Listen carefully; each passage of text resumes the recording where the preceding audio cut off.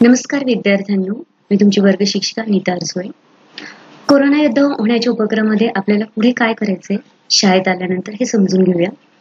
शाळेत येताना कोणत्या वस्तू साहित्य तुम्ही अवश्य घेऊन येणार आहात बघा. पाणी तुमच्यासोबत मास्क हँडवॉश सॅनिटायझर आणि रुमाल.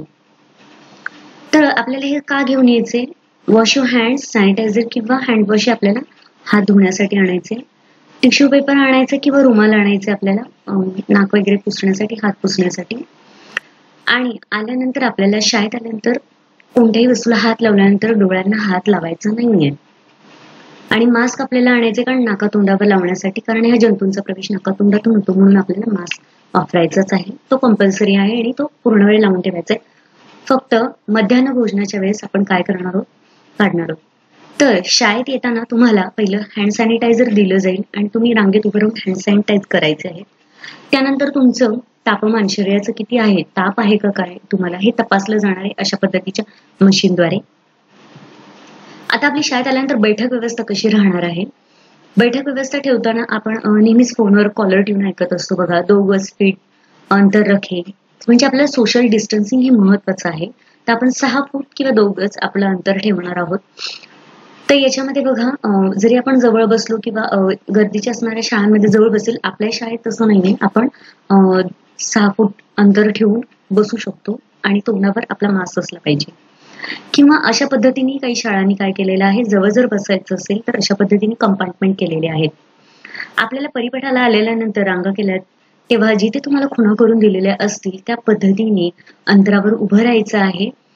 तरच आपण ह्या कोरोनाच्या काळामध्ये आपली काळजी आपण घेऊ शकतो. हे पूर्ण नियम तो आपल्याला पाळायचे आहे मध्यान्ह भोजन करताना अगोदर आपल्याला जेवणाच्या अगोदर हात धुवायचे आहेत. त्यानंतर हँड हात धुण्यासाठी पाणी किंवा साबण नसेल तर आपल्याला हँड सॅनिटाईज करायचे आहेत हँडवॉश वापरून किंवा सॅनिटायझर वापरून. त्यानंतर काही शाळांनी असे कंपार्टमेंट जेवताना सुद्धा करून दिलेत.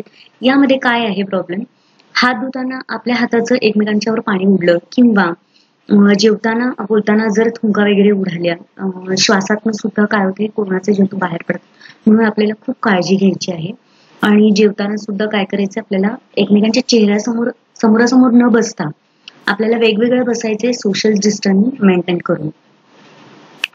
आता बाथरूमला येता जाता काय करायचे आपल्यात अशा पद्धतीने अंतर राहणारच आहे. बाथरूमला येता जाता अंतर ठेवून चालावं भरपूर पाण्याचा वापर करावा. बाहेर आल्यानंतर साबण व पाणी यांनी हात स्वच्छ करून हात कोरडे करायचे आहे तुम्हाला आणलेला असेल तर. पायही पाण्याने स्वच्छ करायचे आहेत. सोशल डिस्टन्स मेंटेन म्हणजे सुरक्षित अंतर ठेवून ही स्वच्छता करायची आहे. नाही तर तुम्ही एकमेकांना आता आम्ही हात धुतो पाय धुतो आणि स्वतः एकमेकांच्या जवळ गेलात तर आपलं हे जी काळजी घ्यायची आहे याच्यामध्ये बाधा येणार. मग एकमेकांच्या अंगावर पाणी उडवू नये यातून काय आहे? कोरोनाचा संसर्ग हा खूप मोठ्या प्रमाणात आणि फैलाव खूप होतो आहे. तर आपल्याला सोशल डिस्टन्स ठेवतच याच्यामध्ये काय करायचे काळजी घ्यायची शालेय परिसरात थुंकू नये यातून हा आजार वेगाने पसरतो. शासनाने जी थिंकणार आहे त्यावर कारवाई राबवलेली आहे सुरू केलेली आहे. अभ्यास करताना काय राहणार आहे या पद्धतीने आपण एका बेंचवर बसणार आहोत. जर जमिनीवर बसत असून आपण आपलं अंतर आपले साहित्य आपलं दप्तर आपल्या जवळ ठेवायचं आहे. अभ्यास करताना कोणालाही स्पर्श होणार नाही अंतर ठेवत आपण बसणार. इतरांच्या वस्तूला हात लावायचा नाही. तसंच मास्क ओढाओढी करायची नाही.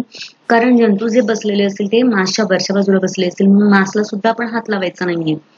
मास्क नेहमी आपला आपण येताना धु रोजच्या रोज धुतला गेला असले पाहिजे. नाही तर मळकट झालेला मास्क वगैरे घालून आलं तर आपण एवढी काळजी घेतलेली काहीच अर्थ राहणार नाही. म्हणून आपल्याला मास्कचं सुद्धा काय करायचं? निर्जंतुकीकरण करायचे मी पुढे सांगणार आहे. नाकातोंडाला सारखा हात लावायचा नाही डोळ्याला हात लावायचा नाही आपल्या सवयी बदल करून स्वच्छता ही महत्वाची राहिली. खेळताना काय करायचं? संपर्क करणारे खेळ आपल्याला खूप कमी करायचे आहेत. विद्यार्थ्यांनी वैयक्तिक खेळ व्यायाम योगासनं कवायत करू शकतो. आपण हे करणार आहोत शाळेत आल्यानंतर सोशल डिस्टन्स ठेवत कोणते खेळ आपण खेळणार आहोत? याची यादी तुम्ही येताना बनवून आणायची आहे शाळेमध्ये. जर आजारी असाल तर शाळेत यायचं का? तर नक्की तुम्ही काय करायचं मी पुढे सांगते. जर आजारी असले तर शाळेत येऊ नये.